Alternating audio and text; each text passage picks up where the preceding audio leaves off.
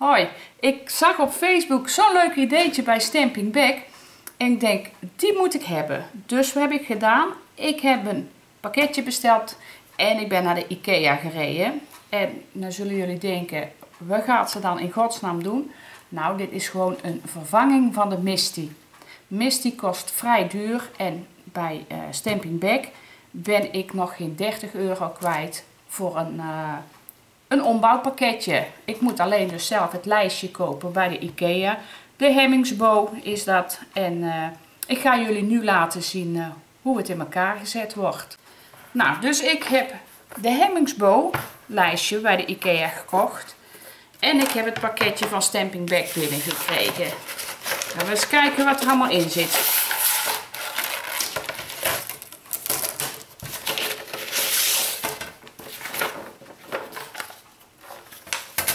Dat is wel handig. Een beschrijving. Ik ben niet altijd even handig, vooral niet met Ikea kasten.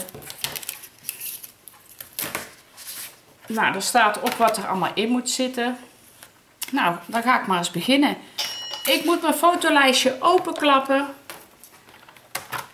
En ik moet de pinnetjes die het acrylplaatje vasthouden omhoog buigen. Dit is gewoon hetzelfde als wat je normaal bij een fotolijstje doet. Dus heel moeilijk kan dat niet zijn. Die gaat eruit.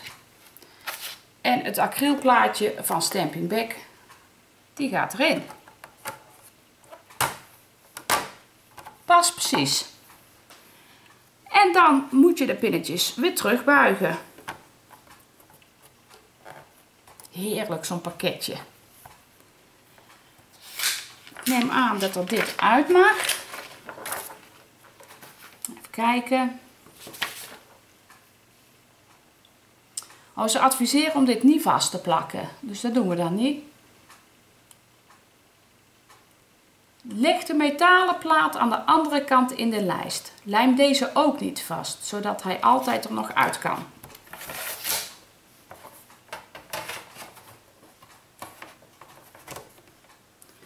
Het is me niet helemaal duidelijk of ik die plastic dingetjes eraf moet halen. Is me niet duidelijk. Ik denk het wel. Als het niet zo is, dan hoor ik dat nog wel. Zo.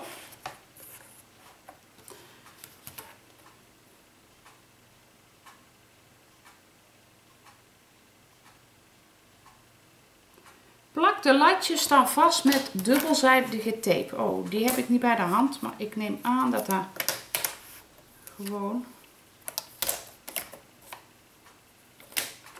zo moet. Nou, dat ziet er goed uit. Ja, ik ga hem toch maar even vastplakken met dubbelzijdige tape. Die heb ik eventjes gepakt.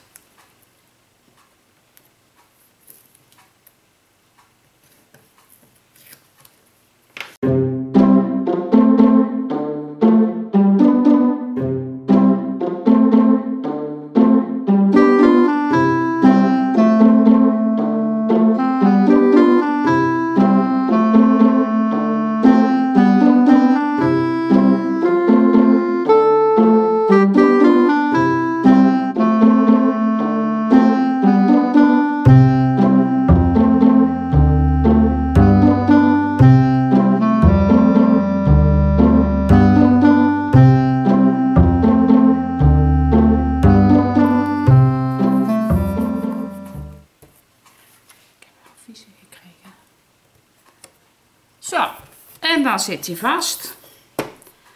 En mijn stempelhulpje is klaar. Ik ga hem even proberen. Ik heb dus stempels waar je een malletje bij hebt en uh, het stempeltje. En die ga ik eens proberen of ik die gewoon netjes gestempeld krijg. Ik heb het afdrukje of het uh, standje gewoon uit een restpapiertje waar helemaal niet gebruikt wordt voor de rest. Dus alleen een malletje. Daar leg ik de labeltjes in.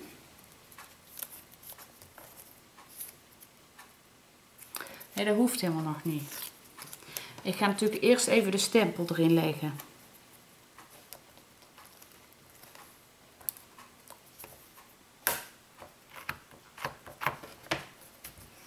Nu leg ik de labeltjes erin.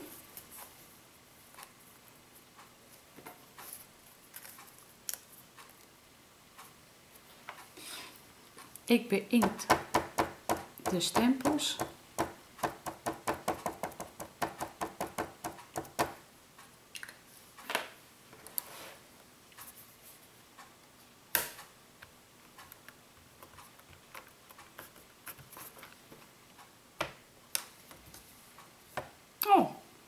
Ziet er goed uit.